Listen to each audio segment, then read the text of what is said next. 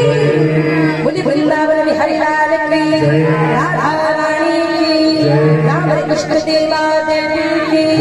राम समस्त भक्त मानव भगवान जी रामचंद्र मंगल करतु एवं मनस्कामना पूर्ण करतु